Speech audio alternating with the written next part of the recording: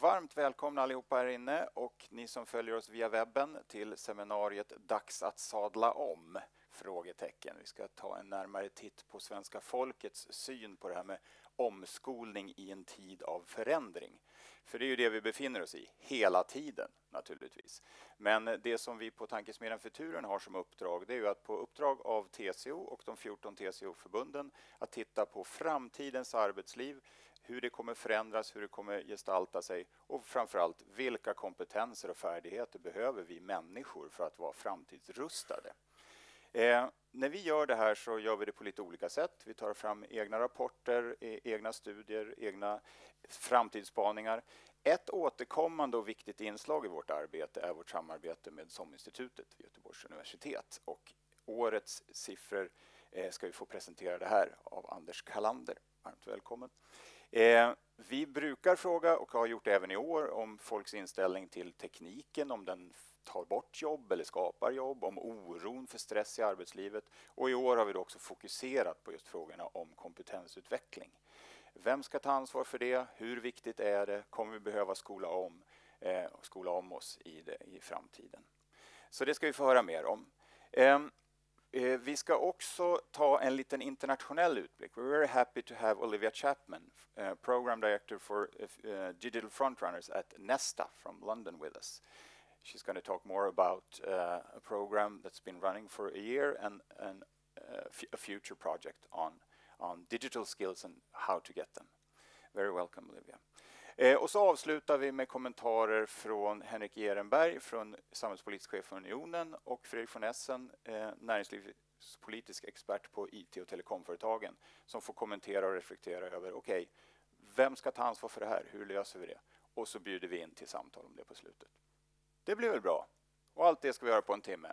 Så därför, eh, with no further do Anders Kalander, SOM-institutet, välkommen upp och ge oss siffrorna på svenska folkets syn på eh, omskolning. Du har en klicker där och en presentation i datorn. Ja. En applåd eh, hörde jag. Bra. Tack så hjärtligt för den varma introduktionen. Ehm, jag heter Anders Kalander, som sagt och eh, jobbar som forskare på SOM-institutet vid Göteborgs universitet. Jag har en bakgrund som civilekonom, men jag disputerade i psykologi för några år sedan och ehm, har av den anledningen ett ganska ehm, spretigt forskningsfält kan man väl säga. Så jag ehm, gör lite allt möjligt, inklusive det här. Och Sadla om eller sadla mer. Sadla mer kanske inte är ett vedertaget begrepp, men jag återkommer lite grann till det. Det handlar helt enkelt om att fylla på. Det är temat för dagen. Och jag har två temafrågor på exakt detta. Och ehm, kan prata lite grann om, om ehm, SOM-institutet, vilka vi är. Eh, några av er kanske känner till oss sedan tidigare. Men det är alltså ett forskningsinstitut vid eh, Göteborgs universitet och vi har två olika ehm, organisatoriska enheter kan man väl säga, eller två eh, områden som vi jobbar med. Dels är det SOM-undersökningarna eh, som är eh, någonting som vi gjort sedan 80-talet. Det är eh, årligt återkommande eh, enkätundersökningar. Eh, dels på nationell basis men även på lite mer regional basis. Ehm, vi har även olika typer av ehm, mer specifika temaundersökningar. Eh, ehm, till exempel så, så eh, är vi ansvariga för PEP-rapporten tillsammans med Generation PEP då, som är kronprinsessparets initiativ för barn och ungdomars hälsa. Så det, det är väldigt eh, många olika typer av, av uppdrag vi pysslar med där. Sen har vi eh, en annan del som, som jobbar lite mer med, mer med webben och mer med digitalisering kan man säga. Där vi har eh, ett antal webbpaneler och där är det mer fokus på att samla in data och kanske vara mer eh, forskningsnära. Så att det, det är utrymme för mer experiment och kanske mer eh, avancerade designer. Men nu ska vi prata om den nationella SOM-undersökningen. Och det här är alltså någonting som, som eh, skickar ut och bjuder in till, till hela svenska folket. Nu i höstas så eh, skickade vi en inbjudan till 21 000 personer mellan 16 och 85 år. Var det någon här som fick inbjudan? Om ni känner igen de här kuverten. Eh, nej. Nettosvarsfrekvens på 53 procent. Eh, vilket anses som, som ganska bra. Ehm, även ifall det kanske har förändrats över tid. Och ehm, kan vi prata lite grann om, om just graden av hur, hur väl når vi ut till, till gemene svensk egentligen. Ehm, då kan man ju prata om ålder. Hur väl når vi ut till olika åldersgrupper? Och som ni ser så de som är över 60 år till exempel, det är en ganska så konstant och ganska rak linje från 90-talet. Däremot så har det blivit allt svårare att nå de yngre åldersgrupperna. Eh, och det är en generell trend kan väl sägas. Och det finns ju många olika typer av förklaringar till det. Ehm, men så, så ser det ut. Det, det är ett, ett eh, representativt urval av svenska befolkningen på det stora hela. Så, så bra, bra data generellt. Och vi ställer ju då tillsammans med Futurion fem frågor i den här nationella undersökningen. Det är eh, tre frågor som är återkommande som vi har ställt ett antal år. Det är två frågor som handlar om framtida oro. Ehm, och den är formulerad som, som eh, ettan här. Om du ser till läget idag, hur oroande upplever du själv följande inför framtiden? Det är frågor om ökad stress i arbetslivet och osäkra anställningsvillkor. Vi har även ytterligare en återkommande fråga som eh, handlar om den tekniska utvecklingen. Om man tror att det leder till, till mer eller färre jobb till exempel. Och sen har vi de här två temafrågorna som, som jag hintade om. Eh, och den ena handlar om omskolning. Jag räknar med att jag kommer behöva omskola mig för att kunna konkurrera på framtidens arbetsmarknad. Och den andra frågan berör mer arbetsgivarens roll inför den här utmaningen. Arbetsgivare borde alltid vara skyldig att erbjuda medarbetare kompetensutveckling och annan vidareutbildning. Så det är de här fem frågorna jag kommer att rapportera resultat ifrån. Vi börjar med ökad stress, tänker jag. Hur oroad är man för ökad stress i arbetslivet?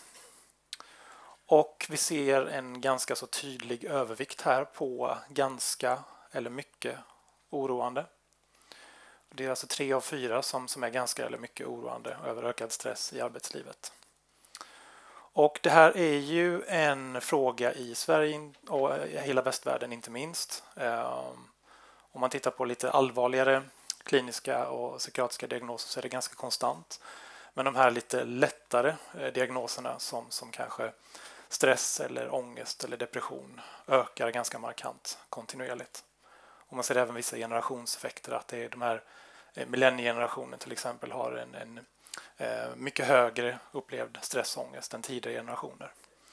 Så att det här är ju en väldigt angelägen fråga, inte minst med tanke på att eh, stress kanske man tänker att det, det, ehm, det är någonting som går över. Det är bara att ta en promenad så, så går det över.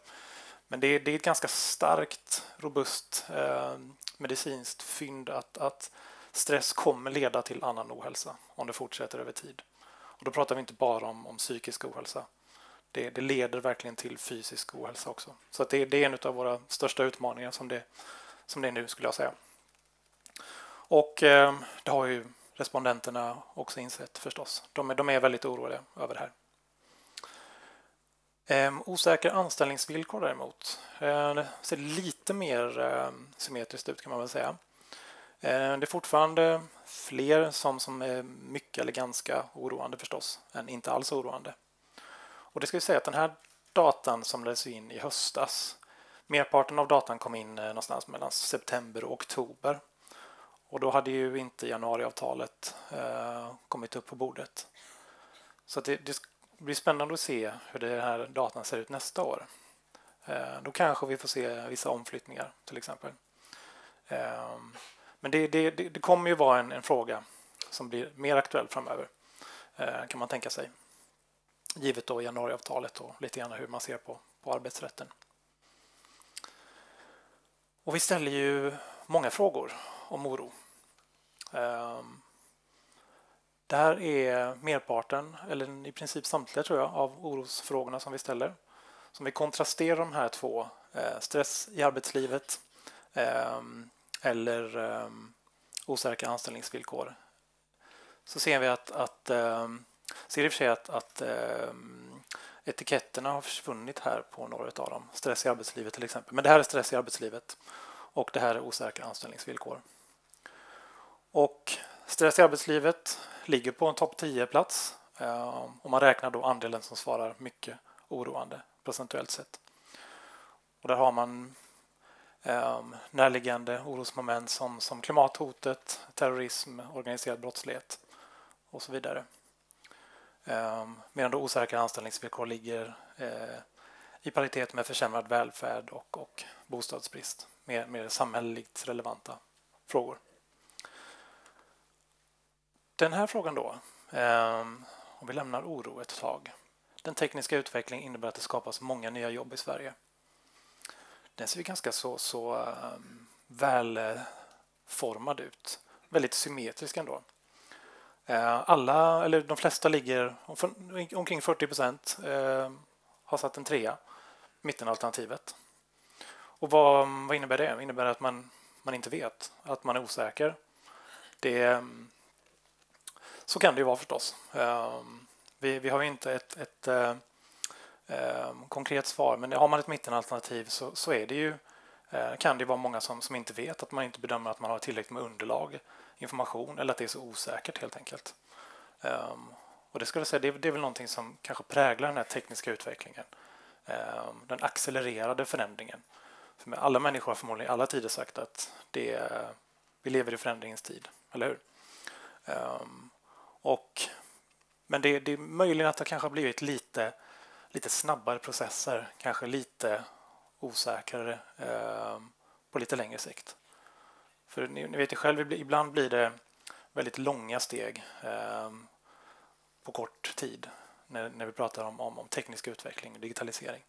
Och ibland blir det lite kortare steg åt olika håll. Så att det, det, det kan vara svårt att, att eh, sia om. I synnerhet om man ska relatera den här frågan då till, till sin egen yrkesroll eller sin egen profession. Ehm, kan man ju tänka sig. Men ganska symmetriskt och man kan ju tolka det här ja, både i positiva och negativa ordalag så att säga. Ehm, det är ju helt jämnt åt båda hållen. Så välj själv hur ni vill tolka det. Och första temafrågan. Jag räknar med att jag kommer behöva omskola mig för att kunna konkurrera på framtidens arbetsmarknad.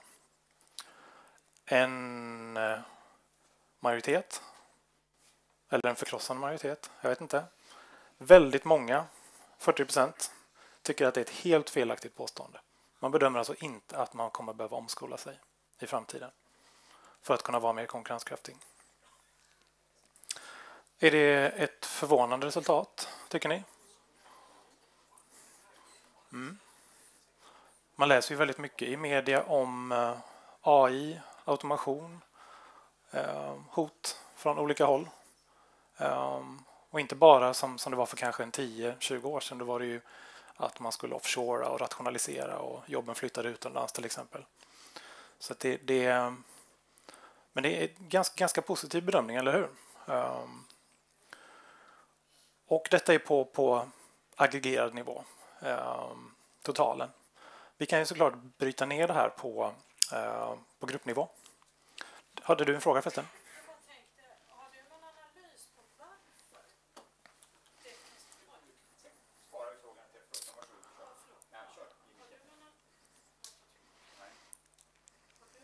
Analys? Jo, nu hörs jag. Har du någon analys varför det ser ut som det gör? Alltså att man inte tror. Är det för att man sitter på ett jobb och så tror man att är man lär mig under tiden eller är det att... Um, om, om vi tittar på frågeformuleringen som sådan. Delvis kan jag väl tänka mig att det beror på hur man tolkar omskola innebär det att eh, du måste sätta dig på universitetet igen i fem år och ta studielån på veckor som du förmodligen inte har kvar. Eller ska du belåna huset för att ta en ny universitetsutbildning? Är det det man menar med omskola? Eller är det en kortare utbildning på ett år? Eh, några månader? Eller är det någonting du, du kanske kan göra på din fritid? Eh, svårt att säga. Så jag, jag tänker att det är förmodligen i, i den lägre änden man, man eh, bedömer det här. Att det kanske är en kortare typ av utbildning. Alltså in, inte, inte i den traditionella bemärkelsen att du måste verkligen skola om och rikta om hela eh, ditt ämne eh, och din, din karriär. Um, så det skulle kunna vara en tolkning. Um, och en annan tolkning är den kanske lite mer psykologiska tolkningen av det hela. Um, att du kanske, du kanske blindar för, för fakta för att det är för jobbigt för dig. Det innebär att du måste börja planera för en, en alternativ framtid som innehåller massa typer av osäkerhet. Att du måste skola om dig. Det innebär att du får kanske mindre lön. Du tänker på ditt lån. Um, det, det, blir väldigt, väldigt mycket osäkerhet. Och osäkerhet är någonting som människor helst vill undvika. Och då vill man ju... Ofta, ofta kanske man intalar sig olika typer av um, alternativa sanningar för att undvika osäkerhet. För att det leder till, till stress. Um, så det, det, det, skulle kunna vara två analyser av det hela, tänker jag. Men eh, vi ser samtidigt då, oavsett förklaring, så ser vi vissa, eh, vissa skillnader. Om vi bryter ner det här resultatet på, eh, på gruppnivå. Och då ser jag även här att några labels har försvunnit. Det är väldigt, väldigt hög eh, figur det här. Ehm, och eh, Men vi ser i alla fall om vi börjar eh, nerifrån här när det gäller kön så är det inga större skillnader när det gäller omskolningsfrågan. Eh, jag tror att eh, man är under här faktiskt. Alltså jag tror att det har blivit en liten förskjutning här i, i eh, uh... Här uppe har vi facktillhörighet, här har vi politisk, på den politiska skalan. Ja. Här har vi inkomster och uh, utbildningsnivåer, geografi, ålder och kön. Precis, men det, det, jag, tror, jag tror att det blivit en liten, liten förskjutning här så att det, det, den här eh, ålderskategorin eh, korresponderar möjligen med den här, men det, det ser så ut. Men det kan, det kan vara att några har försvunnit. Hela rapporten och eh, en uppdaterad bild kommer naturligtvis att finnas på nätet inom några timmar. Absolut, absolut. Och då, då, då, är, då är det ju såklart eh, på procentbasis på, på gruppnivå. Då ser ni alla, till och med då uppdelat på, på vad ska man säga, kön och ålder kombinerat. Så där, där finns det mer eh, uppdelningar och, och resultat av det hela. Men eh, det vi ser när det gäller omskolning, ingen skillnad på kön då som sagt. Men när det gäller ålder, eh, ju äldre man är desto, desto mindre sannolikt tycker man att det är att man ska behöva omskola sig. Och det är väl ganska självklart. Ehm, om, man, om man går till pension till exempel, då är det ganska osannolikt att man behöver skola om sig. Och vi, vi, vi ser den här effekten även här eh, på då åldersspannet 50 till 64 år. Ehm, det finns en viss effekt av var man bor i landet. En klassisk stad-land-gruppering. Eh, Så ehm, bor man lite mer ruralt, alltså att du bor mer på landsbygden jämfört med eh, urbant eller i storstäderna, så, så eh, bedömer det som mindre sannolikt att du behöver skola om det också. Och det finns även en effekt när det gäller eh, utbildning. Ju högre utbildning, eh, desto mindre benägen tror du att, du att du måste omskola dig. Och även på inkomst. Eh, ju högre inkomst, desto lägre sannolikhet att du, du behöver omskola dig. Och Det finns även då man tittar på den övre indelningen här um, så TCO eller SACO-anslutna bedömer det som mindre sannolikt att man behöver omskola sig. Um, och även till viss del om man tänker på en höger-vänster-orientering, rent politisk orientering, så, så har vi en lite eh, kraftigare lutning åt, åt höger här på den här frågan. Um, om vi går in på den andra frågan den som handlar om sadla mer eller fylla på. Arbetsgivare borde alltid vara skyldiga att erbjuda medarbetare kompetensutveckling och annan vidareutbildning. Så uh, tror ni kanske att jag bara vände på figuren. Det ser nästan så ut, va? eller hur? Den är helt åt andra hållet. Så här är det en kraftig majoritet som tycker att, att eh, definitivt Arbetsgivaren har en skyldighet, eller borde alltid vara skyldig att erbjuda kompetensutveckling och annan vidareutbildning. Och det kan man ju dessutom eh, säga i kontrast att det, det är inte så att det är klart att det handlar lite grann om var i den här frågan eh, vad, vad kom innan den här frågan i enkäten till exempel? Vad tänkte man på när man besvarade den här?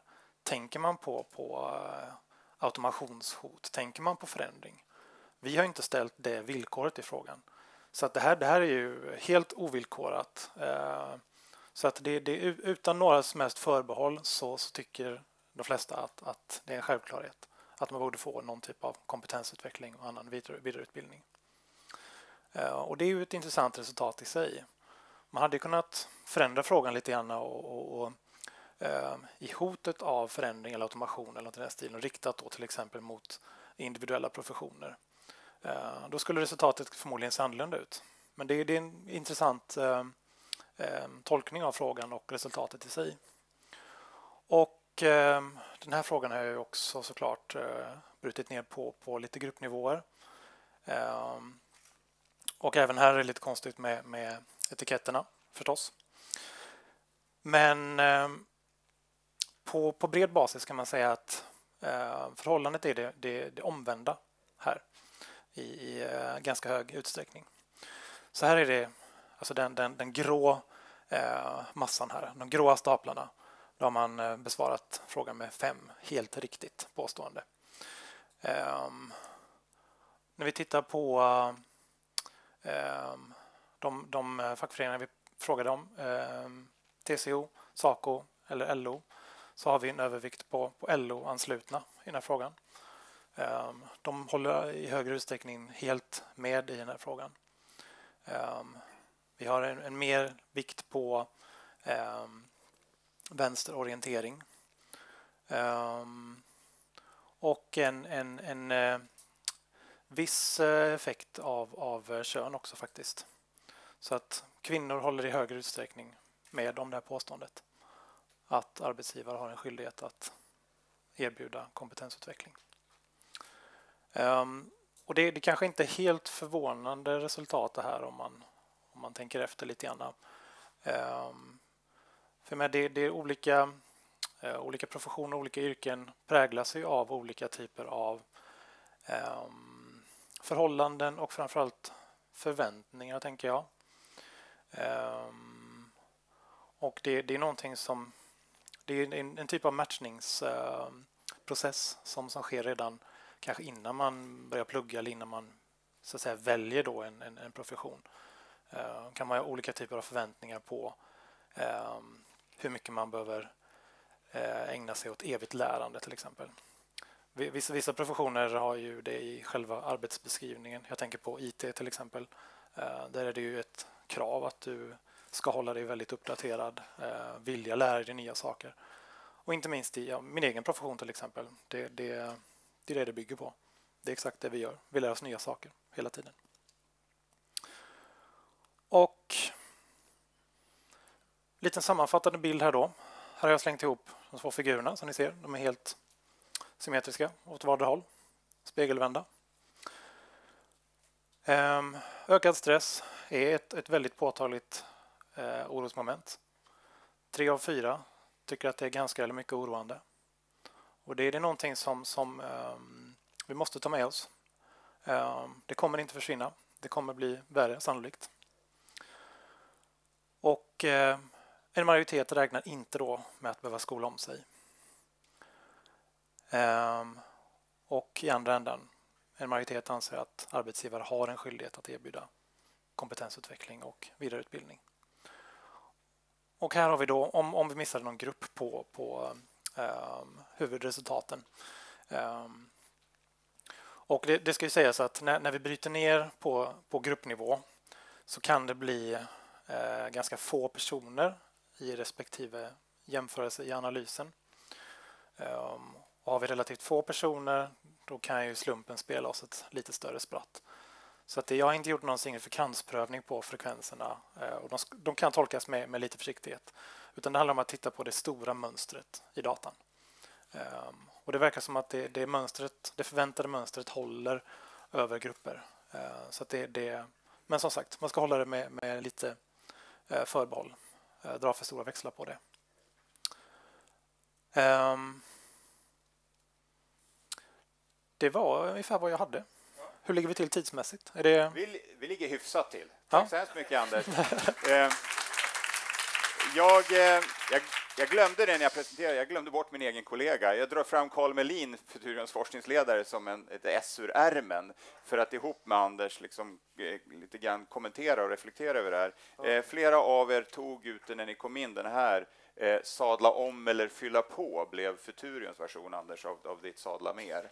Eh, och eh, den går också för er som följer på webben att, att ladda ner naturligtvis från, från Futurions. Va- Om jag ger ordet till dig först, Kalle, vad är din eh, spontana reaktion kring de här siffrorna? Hur, tol- hur ska man tolka de här? Alltså, jag tycker nog lite grann som Anders var inne på också att det här med ja, det, de flesta, det vanligaste svaret är att man inte behöver omskolning, men omskolning handlar ju för de flesta om att så att säga skaffa sig ett nytt yrke. Eh, det, det mätningen visar ju är att ungefär var fjärde säger att man nog kommer att behöva omskola sig. Och var fjärde, ja men då pratar vi om över en miljon personer på den svenska arbetsmarknaden. Alltså det, det är klart att om du är, har ett jobb som lärare eller jobbar i vård, eh, det finns en massa jobb där man kan vara ganska säker på att man kommer behöva fylla på med mer kunskap. Men man kan ändå vara ganska säker på att jobbet kommer finnas kvar. Men sen finns det andra jobb, kanske inom konkurrensutsatt industri och sånt där strukturomvandlingen ser annorlunda ut. Där risken är större eller där liksom hela yrket kan ersättas av ny teknik. Så jag tycker man ska, man ska inte man ska inte titta på de här siffrorna och säga oj, är det inte fler än så här? Utan vi pratar om kanske en och en halv miljon personer. Så att Eh. egentligen, din, din slutsats är att egentligen så har vi en ganska, och den kanske du delar, Anders, en ganska hög, du var inne på det Anders, att man inte ens hade någon, någon förutsättning där kring kompetensutveckling. Vi har ett ganska omställningsberett svenskt folk, eller? Ja, och om vi tittar på andra mätningar som har gjorts också, både TCO, Unionen, Handels, ett antal fackförbund som har mätt bland sina medlemmar, bland tjänstemän och liknande. Så de flesta anser ju att man inte, eller en stor andel anser att man inte får den kompetensutveckling man behöver för att så att säga hänga med i sitt yrke. Eh, jag tror att eh, en TCO har en mätning som visar att till exempel 44 procent av tjänstemännen säger att man behöver kompetensutveckling som man inte idag upplever att man kommer kunna få av sin arbetsgivare. Eller som arbetsgivaren kanske inte kan vara ansvarig för. Nej. För det är väl lite grann det i det här sadla om eller fylla på, reskill och refill. Det är väl Ja, och det är det här som är lite knepigt. Pratar man om omskolning eller kompetensutveckling, det är väldigt lätt att se. Antingen så är det så här att mitt jobb försvinner. Då måste jag skaffa ett nytt jobb. Alltså får jag typ sätta mig på skolbänken igen eller få hjälp av Trygghetsrådet eller Arbetsförmedlingen eller vem det nu är som skulle kunna hjälpa mig med det. Eller så får jag ta studielån och flytta in i studentkorridor. Eh, eller så skaffar arbetsgivaren ett nytt dataprogram eller en ny maskin och så måste jag gå på en kurs för att lära mig det. Och det, ena, det senare är väldigt typiskt traditionell kompetensutveckling, fortbildning i arbete. Det andra är sadel-om. Det som händer är att det finns ju ganska mycket däremellan. Alltså, det är inte 1 och 0. Nej, det är inte 1 och 0.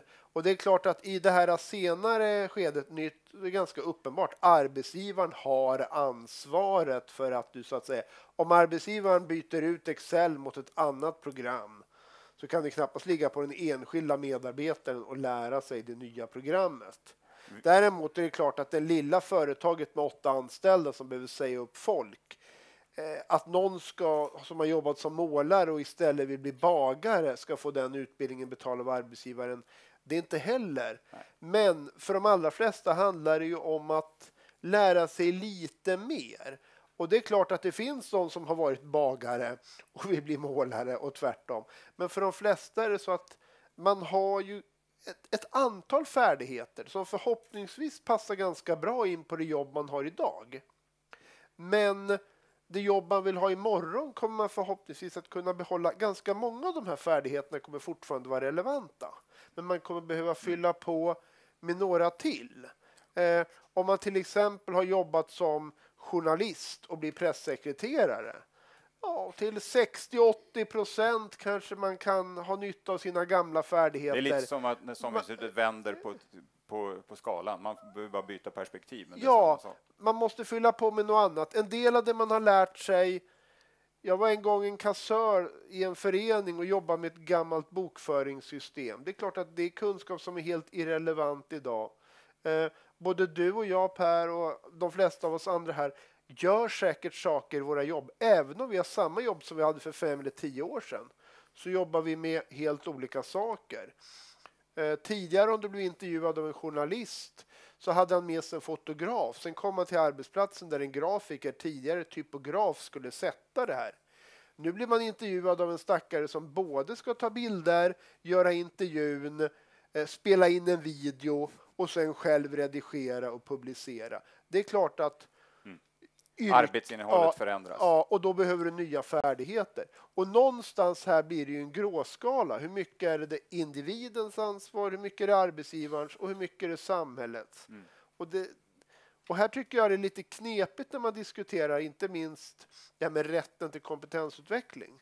Eh, den tycker jag ska finnas där. Rätten måste ju också finnas i verkligheten och nu går vi in här i förhandlingar inte minst påkallat av det som regeringen har gjort och det här kommer ju parterna prata mer om sen. Precis. Men det är klart att många av oss, inte minst tjänstemän, har ju jobb som vet att om jag är på kurs i två dagar, det är inte så att det kommer en vikarie och ersätter mig. Tvärtom så vet jag att då måste jag sitta på helgen eller kvällarna därför att det vanliga jobbet finns kvar. Det innebär att har man mycket att göra på jobbet så kommer vare sig du själv eller arbetsgivaren att ligga på. Vi får fundera på ett Ja. kommande seminarium som får heta någonting i typ med kursen som stressfaktor. Ja, och men lite så. Ja, Fan och semester, gud vad mycket man har att göra när man kommer tillbaka. ja. Eh, hörni, tack ska ni ha och tack eh, Anders också för att du, vi är många som har pratat livslångt lärande nästan till döds och nu gav vi oss evigt lärande. Ja. Det var en eh, poet, vi tackar om en varm applåd. Eh, tack, ni får komma tillbaka med kommentarer. F- eh, now it's time to introduce uh, Olivia Chapman from Nesta. Uh, and when we asked Olivia, uh, Futuren and, and Nesta are uh, co-working on various projects. We've been a part, uh, happy to be a part in your. Uh, you have the presentation on the on, on that one. I have some notes. Oh, on you have some yeah, notes as well. Oh, multi-competent. uh, we've been working together on, on the digital fro- frontrunners program, and when we asked Olivia to come to the seminar, he said, "You said, yeah, I'm already in Copenhagen." Which is a Scandinavian perspective on it. Uh, you're you're actually just coming in from a workshop focusing on the questions that uh, Anders and Som Institute has been asking: how to motivate people and how to find the right ways to find the right future skills. So please, Olivia, uh, introduce us to, to the findings from, from the Digital Frontrunners program and also the upcoming projects that you have in line. Thank you, Please. Per. Thank you very much for having me here today. It's a little bit of a tough gig to follow with such great um, statistics and information there. So, forward. Great. Um, so, those of you who are not familiar with uh, the organisation Nesta, um, we're an innovation foundation and we work all around the world. Um, we have partnerships with a range of different stakeholders and organisations, and we broadly do three pieces of work. We do a lot of research and policy work. Um, we put money into practical programs in, and interventions in health and education, and we also do um, quite a bit of uh, funding of uh, early stage startups. And the whole uh, mission is uh, for our organisation is about backing bold ideas that uh, change lives. So we believe that sort of innovation can come from anywhere, can come from people, can come from uh, all walks of society, and we think that good ideas can can help improve outcomes for everyone around the world. Um, specifically, I work on the Future of Work projects, or a couple of big Future of Work projects at uh, Nesta. Um, in principle, we believe that technology can improve societies and economies, uh, but only if everyone's included in the transformation. So, um, a big challenge to this, which you'll all be very familiar is with, is the labour market is changing super fast, um, so fast that you know policy and current systems are not matching the the fast pace of change. We've done quite a bit of analysis at Nesta ourselves and I'd be very happy to share the links with you afterwards. Specifically, there's a few key bits. This is about anticipating skills needed in the job market. This platform here is being developed by our data team and is a little bit along the lines of the job tech uh, initiative you have here in Sweden, which, which is matching job data with uh, actual jobs needed in the labour market. And our delivering digital skills report uh, compared upskilling and reskilling um, training initiatives from around the world to see what works. And we're using this actually to inform our new program, which I'll get to in a second. Um, so very quickly, the Digital Frontrunners program, which uh, we've been working with uh, Futurion on, um, is about bringing together future of work experts, primarily governments, but also agencies, unions, uh, to look at how we can tackle some of these big problems that we're all sharing. Um, we, we do this through um, high level workshops, as for example, the one we've just hosted or is going on at the moment in Copenhagen.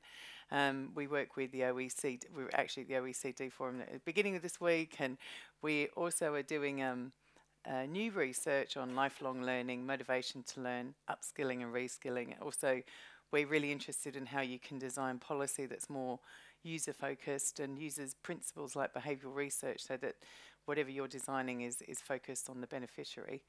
Um, and we work with lots and lots of great people in our program. Um, oh, this is a little bit about the stuff that we're doing this year. At the moment, we're in Denmark. Next, we're working with the Dutch government on scaling good ideas and programs. So they've got lots of great partnerships and initiatives there, like Sweden does as well, but they're not quite sure how to roll them out to the regions. Everything that we do is co-created and co-designed. Um, we're great believers in, you know, uh, working in, in that sort of way with our partners because there's no point us coming in and telling you how to do your jobs when you know how to do them. So we come in and add a little bit of a lens.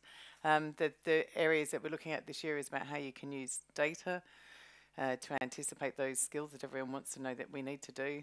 Uh, things around motivation and lifelong learning. Um, we're doing a workshop later in the year with Belgium around managing and facilitating sustainable and complex stakeholder partnerships given that Belgium's quite fragmented. So these are some of the things that we're doing on year. And then at the end of it, we, we uh, produce these guides that help um, our stakeholders like unions and governments do their jobs a bit better.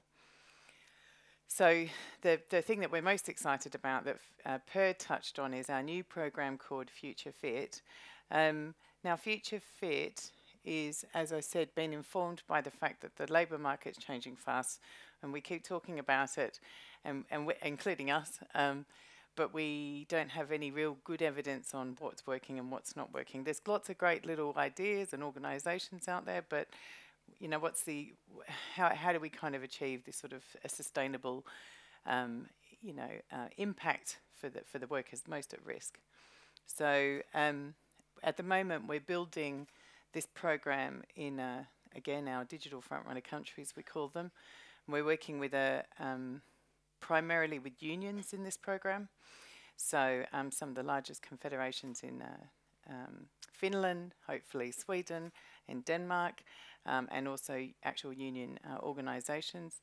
And we're going to be, have I got it here? Oh, no, I haven't. But what we're going to be doing is um, setting up, looking at what training provision is exists already, whether we can improve or tweak that training provision, um, and then test what is working and not working when we're talking about upskilling and reskilling because we think and we know that there isn't a really big holistic uh, overview of what's going on out there at the moment and we think through this process of actually giving workers sort of future-proof skills and also running some robust evaluation on it that we can find some really good insights that can help the big the wider system across Europe. Um, and I just thought I'm sorry I haven't got a slide for this but we um, have also been running, we also do our own research alongside any of the programs and partners we work with. And one of those is on motivation to learn because we think motivation to learn is a really important principle in this whole conversation around lifelong learning. So in this new program, along with giving these workers at risk of redundancy or displacement through technology or changes in their jobs, we want to look at how you can create a lifelong learner or a continuous learner and what, what are the principles that motivate them. So we will be looking at testing physical capability you know, through our initial research to date, we know that learning services need to be matched with the person that they're trying to motivate. Psychological capability, we're going to look at how psychological support services can help improve a person's disposition towards learning, which is uh, probably a little bit of what was in your research. Um, social opportunity, um, we know that people need to like learning and that there's not a social cost to take up learning so that their peers, they have other people, there's a community around them that's learning. Um, physical opportunity, things like situational issues around time off work, financial support, childcare, flexible learning. So we're going to test a few of these principles around the program so that not only do we give them the skills, but we also test these quite tricky and complex um, uh, factors around motivation and learning as well. I realise, am I talking very fast? Per didn't say I'm Australian, and I'm seeing a lot of frowning. should I slow down? I should. you slow it down. you should have told them I was an Aussie and I talk very fast. oh, um, so my final slide is um, about how this is the thing that's kind of uh, um, driving our, our work at the moment that we think everybody is a genius. But if you judge a fish by its ability to climb a tree, it'll believe its, its whole life believing that it's stupid. So we think a lot of these people are in this situation. We believe everyone's an expert if they're given an opportunity to take part. yeah, great homework.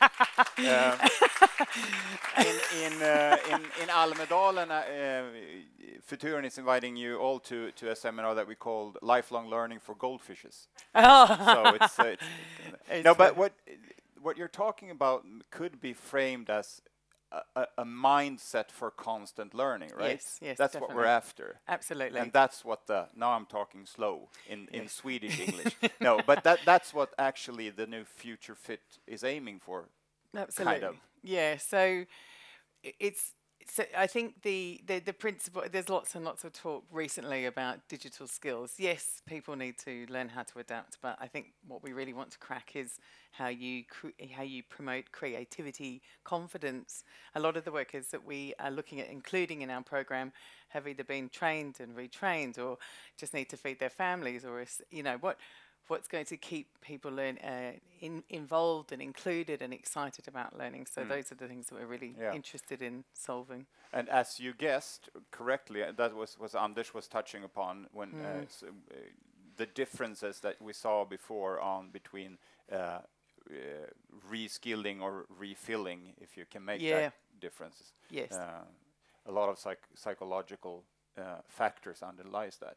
Yes, and we were speaking earlier that actually people have been involved in training and education and learning. A lot of these principles aren't new, but it's just about adapting the, the, approaches to learning so that they're a little bit more agile and responsive to you know what's going on in the marketplace mm. today. So we're going to take some well-worn um, principles around psychology, you know, the psychology. Yeah. Uh, and afterwards, we're going to have a meeting with uh, Finansförbundet, Unionen, and Vision on the Future Fit program. Yeah. Uh, why unions? Um, we think that there's actually a lot to learn from the union model in the Nordics. Um, there's lots of good work going on already. You're um, working, uh, do doing really good things that we think we can improve or learn on from, or so we, we, we, think it's an exciting route into this problem, but also trying to tackle it together. Mm. Yeah. And, and uh, Sweden, together with the other countries, are defined as digital frontrunners mm. by McKinsey and others. Mm. Uh, how can we make the best out of that sort of pole position? Uh, right. In, in short, in short, and slow, short and slow. Yeah, yeah, short and slow. Uh, I think uh, it's interesting through our work with Sweden. We, we, we've been working with our friends and, and partners in Sweden for a long time, and I think the feedback we get is about the complacency in the Swedish culture. Would, would that be right? There's a complacency around we're good, we've always been good. Why do we need to do anything better? Yeah. Mm. So that I think is a risk in terms of, and I would actually find it with the other front runner countries. We don't need to improve. We're always in the yeah. top rankings. So what happens in 20 years and suddenly you're falling down the mm -hmm. rankings? So I think actually need, there needs to be a bit of fire, maybe. Yeah. yeah. Good. Uh, thank you, Olivia. Yeah, uh, thank you very much. Thank you for. And, and I think uh, av- avoiding the fat cat syndrome, maybe. Eh, och nu ska vi ha en... Det var inte det som Fredrik von Essen och Erik Ehrenberg var, blev inbjudna att prata om, men, men det kommer ni få göra ändå. Varsågoda, Väl, välkomna upp med en applåd. Eh, därför att jag vet att ni bägge två från eh, Unionen och IT och telekomföretagen, Almegas sida, eh, ni har ju bägge två, eh, bägge parter, liksom det här med att vi måste öka takten i det här. Eller hur Fredrik? Vad, vad säger du? Ja, Ja. tydligt svar. Alla hänger med på det. Precis. Ja. Mm. Nej, och, och för att det här, det, det som vi har hört nu, vad, vad, vad är liksom det som sticker ut, tycker du, utifrån ert perspektiv från, från eh, SOM-institutets siffror? Ja, eh, intress- intressant med dem lite, lite alltså det är både det här fat cat-problemet, just att det var så många eh, som, som ansåg att vi inte skulle behöva skola om sig, eh, och också det här stresssyndromet. Så att jag, jag tror vi, vi, vi har någon, någon sorts eh, vi börjar redan halka in på psykologi här, någon sorts här kognitiv dissonans. Alltså att, eh, å ena sidan, men Sverige, vi är bra, och vi har liksom svenska modellen och vi, vi är för omställning, det ligger i, vårt system, så vi behöver inte vara så oroade. Men kanske att man mer på individnivå anar att eh, something fishy here. Liksom. Eh, vad, vad säger du, Henrik? Vad, blev du överraskad av siffrorna, eller vad tycker du liksom är det viktigaste att ta fasta på där? Eh, nej, men jag tycker väl också, nej, jag kan inte säga att jag är överraskad, utan det man eh, eh, Möjligtvis, och det gick ju nästan ett sus i publiken där med hur många som, tyck, hur många som inte ser sig eh, som att man behöver skola om sig. Men det tror jag är just de här sakerna. Vad betyder omskolning och så? Mm. Och vi ställer ju frågor till våra medlemmar, tjänstemän i privat sektor, eh, hur de ser på sina omställningsbehov så att säga. Och då eh, är det ju, eh, ser man flera saker som vi kanske kommer komma in på. Vem ser ansvaret och så? Mm. Och då, eh, givet de här som-resultaten med vem ser ett behov av att skola om sig och så, då eh, är det först så att vi har väldigt många medlemmar som tänker sig så här, "Ja, jag behöver nog kompetensutveckling som jag inte kommer få av min arbetsgivare. Och då vänds den här lite pyramiden. Vem är det då som blir lite intresserad av att du vidareutbilda sig kompetens? Ja, då är det eh, personer med akademisk utbildning och som kanske har lite högre inkomst och lite så. Och som säkert hänger samman med att man har en utbildning och har högre studievana och ser lite med grann... här Gillade är- plugget? Gillade plugget och kanske också tänker att okej, jag, har fått- jag har gjort det här förut, jag Mm. kanske måste... Och, och eh, det, när vi pratade innan så, så pratade du också om att vara i ett ekosystem för lärande. Mm. det är viktigt för mig. Be, beskriv, vad, är, vad består ett ekosystem för lärande av? Eller vad kan det bestå av? Ja, men alltså... eh, vår, om, eh, våra medlemmar, eh, även när man ser ett behov av omställning så är det inte säkert att man tar det där steget. Och vad beror det på? Ja, dels är det så här, okay, vad, ska jag, osäkerhet kring vad ska jag utbilda mig i? Vad är det för kompetens som behövs hos arbetsgivarna, min egen eller någon annan i framtiden? Skapa säkerhet kring det, så att säga, vad, vad är framtida kompetens som man behöver? Det handlar om ekonomisk struktur, så att säga, okej, okay, jag har mina barn och min villa och min, min, min båt, hur ska, jag in, hur ska jag kunna behålla mitt liv, så att säga, och inte ta in, eh, flytta in med hela familjen i studentkorridor och äta eh, spaghetti med ketchup. Och då, eh, det behövs en sak. Men eh, det behövs eh, arbetsgivare som tänker strategiskt kring eh, kompetensutveckling. Där säger våra medlemmar, ja, jag vet det är väldigt många som säger de är inte en del, i sin kompetensutveckling inte en del av någon större plan eller vad ska, vad ska det här företaget jobba med om fem år? Vad ska jag göra då? Eh, och sen har vi hela det offentliga systemet, så att säga, utbildningssystemet. Vi har ju valt att ha skattefinansierad utbildning i Sverige. Det systemet hänger ju inte med. Den, där ut, antalet distansutbildningar minskar, antalet enstaka kurser minskar.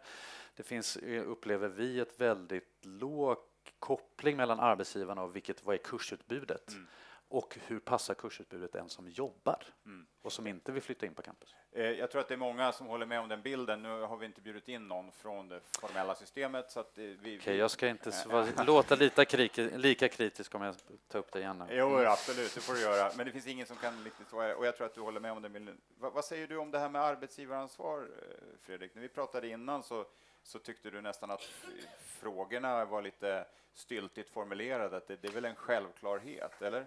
Ja, eh, nu representerar jag då IT och telekomleverantörer eh, och eh, som jag sa i ett annat sammanhang igår, så där lite public service. Det finns andra branscher än, än oss och så, så man ska ta hänsyn till Absolut. De är, de är säkert bra de med. Nej, men... eh, Du behöver inte svara för alla, mer ur ett arbetsgivarperspektiv. Och, eh, och för då, våra medlemsföretag så blir ju liksom frågans formulering där att tycker du att eh, eh, liksom man ska erbjuda kompetensutveckling eh, som någon sorts ynnest, som en, en, en nådegåva, liksom, när det är ett rent överlevnadsvillkor för alla våra medlemsföretag att medarbetarna är kompetenta och Men- lär sig dem. Och, och, och det låter bra och, och, och så, men, men det är ju i kontrast till det som unionens medlemmar säger att de upplever sig inte vara en del av den här strategin.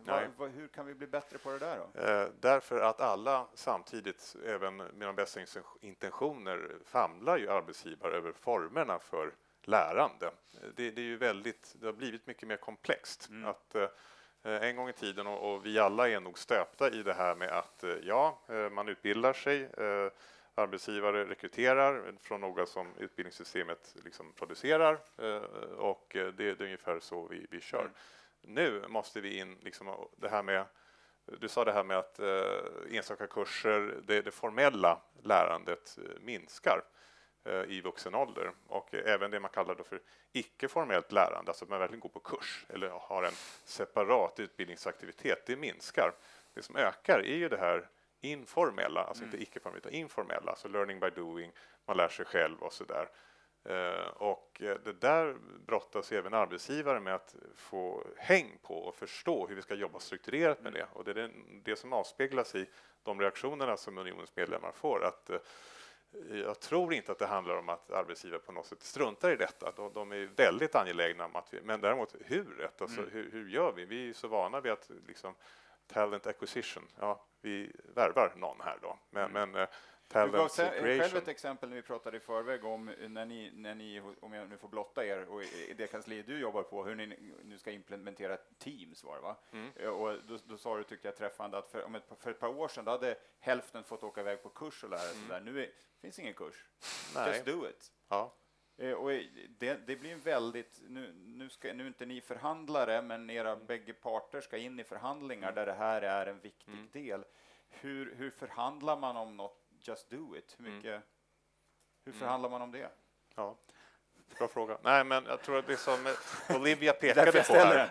Ja, nej, men jag, jag, jag, jag fångar upp det som Olivia pekade på här, att eh, vi måste hitta formerna för, för hur detta lärande ska gå till, som inte bygger på det här med att gå på kurs. Mm. Eh, och, eh, och då blir det komplicerat, därför att, om vi, återigen, mina medlemsföretag, de jobbar ju hårt med, med att liksom leverera kvalificerade tjänster som kräver kvalificerade medarbetare och då har de ju någon sorts process är det där, där det här lärandet pågår då.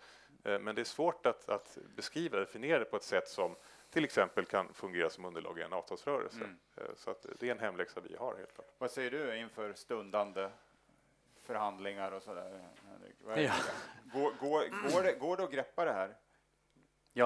Alltså, det finns för flera saker att säga om det, men det, det, apropå det här med ekosystem och det här med att hur, eh, hur man ska kunna ta sig vidare, upskill eller reskill, då tycker ju vi att man ska bygga ett, system, ett gemensamt, partsgemensamt system. Det har vi ju redan idag med personer som blir varslade på ett företag med kollektivavtal. Då blir man, åker, då blir man skickad till Trygghetsrådet och så får man en coach och så kan man, får man kompletterande utbildning. Man får hjälp att vet, orientera på arbetsmarknaden och så. Vi vill ju komplettera det systemet med en, en, ett avtal som, som gör att arbetsgivarna i princip kan eh, och de anställda tillsammans kan ha en kompetensförsäkring Mm där man då kan göra de här lite längre insatserna och ändå kunna komma mer- förbi det ekonomiska problemet, det vill säga hur ska jag klara villan, Volvon. Och, och eh, mycket kunder. mera förebyggande då, eller så att det inte bara är i, i, i, i den akuta, eller vad man ska kalla det för. Precis, utan att först ha blivit av med jobbet. Utan kunna spana framåt, prata med sin arbetsgivare. Vad tror du? Eh, Fundera på, är det här framtiden här i företaget? Vad behöver jag för utbildning då? Eller komma fram till, nej men jag kanske måste söka mig någon annanstans och då behöver man inte hamna i det här. Kan jag gå den här utbildningen som du betalar men jag kanske jobbar hos en annan arbetsgivare om ett år? Som ju är ett hinder så att säga för en del av den här Jag kompetensutvecklingen. tyckte du, när vi pratade innan, eh, Henrik gav ett bra exempel på det här med att det, är lite, det går inte att säga antingen res- reskill eller refill. Du, du tog Volvo som exempel, där, där man liksom Mm. har haft eh, man har jättemycket folk som är superbra på bensinmotorer och så helt plötsligt ska hela fordonsflottan elektrifieras. Är det, är, då undrar man, är det reskill eller är det refill? Ja, precis. Om man är... Det, precis. Det är ju, är det, är, behöver man en helt ny utbildning eller räcker det med att uppdatera? Liksom? Mm. Det är klart, man ska in, det, är ju ett, det är ju ett väldigt bra exempel för det är en total teknikomställning. Man ska göra en, man har tusentals personer som jobbar med en grej, bens, bensin och dieselmotorer och så ska alla de, eller väldigt många av dem, försöka jobba med en helt annan sorts motor som fungerar helt annorlunda och så. Och då är det, ja precis. Eh, Men då måste ju då, enligt vårt sätt att se på saken, företagen fundera på vad är vi om fem år? Vilka medarbetare har vi? Ha koll på deras kompetens. Vad har de lärt sig på jobbet redan? eh, Som kanske de inte har en examen på. Vad behöver varje medarbetare för att kunna börja jobba med den här produkten, eller den här utvecklingen som, som, som ligger framåt? Och då inte Medan en del företag hittills har tänkt så här, ja, ja, men vi, då tar vi bort de här 3000 och så anställer vi de här 2000 direkt från skolan. Men det kommer inte hålla i det omställningstrycket som är. Då Nej. räcker inte nyutexade personer Nej. och deras kunskap kommer inte eh, räcka de närmsta 40 åren heller. Utan Precis är som, eh, som Carl Melin konstaterade i, i den här spaningen eh, så, så är det här ingen ny fråga. Eh, Robert Kloarek, du approcherade mig redan när du kom och sa att jag tänker begära ordet. Nu slapp du det, du får den. Berätta vem du är och framförallt vad är, det, vad är, vad är sammanhanget som du vill beskriva? Robert, Robert Kvarek och sammanhanget här att jag för 20 år sedan satt jag och skrev direktiven till kompetenskontoutredningen. Och det som är intressant med det, det är inte det förslaget av vad som hände sen, utan diskussionen bland annat med kompetensförsäkring. Men frågan är varför skrevs de där direktiven? Och det var ett arbete som genomfördes på Arbetsmarknadsdepartementet under ledning av en viss Sture Nord, om han är bekant i sammanhanget. Och det var trepartsarbete över Regeringskansliet och så parterna. Och temat var kompetensutveckling i arbetslivet. Det som man kom fram till med hjälp av Claes Stråth, det behövdes lite samtal mellan arbetsgivare och fack, det var just det här, vem har ansvaret? För erfarenheten säger, som vi kommer fram här lite grann, om man säger att arbetsgivarna har ansvaret, då kommer säga, arbetsgivarna säga, vi, vi kan inte ta ansvar. Om vi kompetensutvecklar våra anställda, då kommer ju de bara byta jobb. Och det har man hört från OECD och andra rapporter. Och från fackets sida var det lite grann det budskapet. Det här är ju arbetsgivarnas ansvar. Så man höll på fram och tillbaka sådär. Poängen med det här, det vi kommer fram till, att vi landade i en sorts begreppsapparat som jag tycker är intressant här. Och det är att den verksamhetsrelaterade kompetensutvecklingen, den har arbetsgivarna ansvar för. Och det var det man kom fram till gemensamt. Men den individrelaterade, den om den framtida karriären, det var det man behövde hitta andra former för. Och därav den här utredningen. Och sen det här med gemensamma former för individen. Och det var ju det här kompetenskontoförslaget som var ju lite svårartat, att det inte blev någonting. Men det var det som var tankemödan bakom. Men det kunde ju sen läggas in i något samarbete mellan parterna och kanske någon annan offentlig finansiering. Men den här strukturen med de här begreppen, verksamhetsrelaterad, individrelaterad, var ett sorts apparat som man kunde jobba fram. Lite historia. Tack. Ja. Nej, bra, om, om vi avrundar med att ta fasta på det där. Vi, vi, vi var väldigt nära att lösa den gordiska knuten om 20 år, vi lyckades inte då. Ibland kan man tänka, ska vi uppfinna hjulet igen? Ja, det kanske, man kanske tar ut hjulet ur garaget och börjar använda det. Eller vad, vi, det, den schematiska beskrivning som Robert ger här, är inte den, är inte den vad vi är ute efter? Jo, men det beror alldeles på vad man lägger in i Okej. för formerna där. Just. Och det är ju ingen överraskning, men från arbetsgivarnas sida vill vi just ha en, en kallar för verksamhetsorienterad kompetensutveckling som är väldigt knuten till den aktuella verksamheten och efter de förutsättningar som är där. Då. Eh, och att så fort vi talar lite mer stora solida lösningar, kompetenskonton, eh, fonder, ja då skruvar vi på oss. Det är kanske ingen stor överraskning. Nej. Men, men och Henrik, vad säger du? Nej, men jag, jag eh, mycket, alltså alla, eh, eh, jag tror att vi bor, det är många som måste sluta skruva på sig. Staten måste sluta skriva på sig, arbetsgivarna och, och eh, delvis kanske facken. För att det, det, måste, vi måste göra det här. Utmaningen är så stor, behovet är så stort att man kan inte luta sig, tänka riktigt som man gjorde förr. Eh, någon, annan. någon annan eller en gång en utbildning, alltid en utbildning och det är det som staten tar ansvar för. Utan man måste, och arbetsgivarna måste, måste också tänka på strukturomvandling på, i, i näringslivet. Hur ser vi som kollektiv ut? Hur ser vår kollektiva produktion av tjänster och varor ut om fem eller tio år? Och ta ett gemensamt ansvar för det. Och det, är det, det vi vill åstadkomma är ju att eh, staten ska lägga en grundplatta och att parterna tillsammans ska eh, eh, eh, toppa upp det så att för problemet med de allra flesta sådana här lösningar det är att det är ingen som har råd att studera, i alla fall inte av våra medlemmar, på a-kassa. Det är ingen som har råd att studera med, där två tredjedelar är lån med på en viss nivå. Utan man måste lösa det, den utmaningen och det kan vi bara göra tillsammans. Ingen av staten, arbetsgivarna eller facken kan lösa det själv. Håller du med om det Fredrik? Eh, ja, plus att jag nog vill lägga till ja, utbildningsaktörerna som en part här. Alltså, eh, mycket av den här svenska modellen bygger ju ändå och med koppling till arbetsrätten, alltså arbetsgivare och fack och att nu tar det kompetensutveckling att det liksom bollen ligger hos dem att eh, ta, ta hand om det här. Och hittills så har ja, utbildningssektorn i vid bemärkelse liksom bestått av en, en offentligt finansierad liksom leverantör av förutsägbara, ja, vad säger man, personer. Mm. Som då, eh, men nu är det mycket mer komplext och vi ser att eh, vi måste föra in utbildningsaktörer på, i, i vuxen i yrkeslivet på ett helt annat sätt. Då. Och, och det här ser jag en förutsättning att man kanske har någon form av liksom trepartsdiskussion. Att för dem just, för det är det vi talar om, det är liksom återigen Olivias bild här, workers at risk. Det är det vi, vi, vi måste gemensamt värna, att inte det blir de som att det blir först när de kommer till TRR som alla vet är väldigt bra. Men det är innan man vill mm. att de, de ska liksom ha, ha den här uh, utvecklingen och att vi hittar modeller just där vi även får in utbildningsaktörerna på ett bra sätt. Då. Och också det här med att eh, kart, liksom förstå lärandet och förstå också hur, hur, hur det här med re och upskilling konkret ser ut. Uh, vil, ja, de flesta här, jag har barn som tar studenten snart. Vad ska de göra? Jo, men de antingen eh, tågluffar de eller går in på universitetet. det är naturliga vidareutbildningsvägar. Men, men eh, vi då? Om vi ska vidare, vad, vad är våra naturliga vidareutbildningsvägar? Man, kan, kan, ni rabbla det? Tack. Men när man, när man mejlar dig på fredagar? Ja, jag, jag har valt en väg. Ja. Ja, jag pluggar ja, på deltid också. Så jag Friday att, study day får man Precis, study Friday. Så ja, det, det, är en väg. Mm. Som jag betalar själv. Men, men eh, eh Fick du det sagt? Precis. Ja. Eh, så att, nej men det, det, tror jag är jätteviktigt att vi ändå får någon verktyg och därför tycker jag mycket PR för, för Olivia och nästa här att vi måste jobba fram en modell för vidareutbildning där, där vi tydligt ser vad är alternativen och att det inte blir det här omskolning, hjälp, ska jag in på studentkorridoren igen? Så att vi kommer bort ifrån de bilderna. Då.